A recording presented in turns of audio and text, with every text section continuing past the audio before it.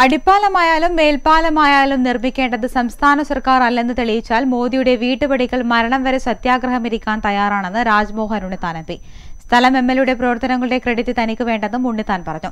Pazhayangadi railway അടിപ്പാത യാത്രാ ദുരിതത്തിന് പരിഹാരം കാണണമെന്നാവശ്യപ്പെട്ട് മുസ്ലിം league നടത്തിയ മാർച്ച് ഉദ്ഘാടനം ചെയ്യുകയായിരുന്നു അദ്ദേഹം.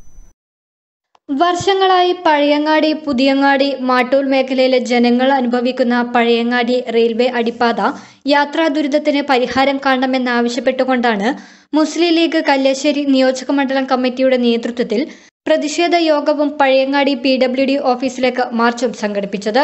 എം പി രാജ്മോഹൻ ഉണ്ണിത്താൻ പരിപാടി ഉദ്ഘാടനം ചെയ്തു.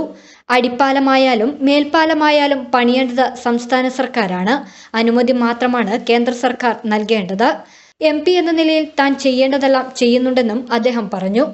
നിങ്ങളുടെ നാടിയേക്ക് നാൽപ്പത് വട്ടം കുട്ടിഘോഷിക്കുന്നില്ലേ വേങ്ങരപ്പാലം ഞങ്ങളാണ് പണിഞ്ഞത്. അതേ വേങ്ങരപ്പാലം പണിഞ്ഞത് നിങ്ങളാണ്. കേന്ദ്രമല്ല. എന്തുകൊണ്ടാണ് നിങ്ങൾ പണിഞ്ഞത്? കേന്ദ്ര ഗവൺമെന്റ് കാലണാതിരുത്തില്ല വേങ്ങരപ്പാലം പണിയാൻ നിങ്ങൾ ആ പാലം പണിഞ്ഞു. അതിന്റെ ക്രെഡിറ്റ് നിങ്ങൾക്കുള്ളതാണ്. കേന്ദ്ര ഗവൺമെന്റ് അല്ല പാലം പണിയേണ്ടത്. സംസ്ഥാന ഗവൺമെന്റാണ്. അത് മനസ്സിലാക്കാനുള്ള സാമാന്യ വിവരം ഇവിടുത്തെ ജനങ്ങൾക്കുണ്ട്. എം എൽ എ അത് കാണിക്കണം.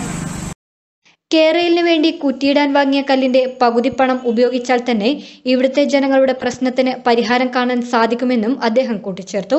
പരിപാടിയിൽ എസ് കെ പി സക്കരിയ അധ്യക്ഷത വഹിച്ചു. Abdul Karim Cheleri A P Badruddin P O P Muhammad Ali K Farisha K P Chandrangadan T P Abbas Haji തുടങ്ങിയവർ സംസാരിച്ചു.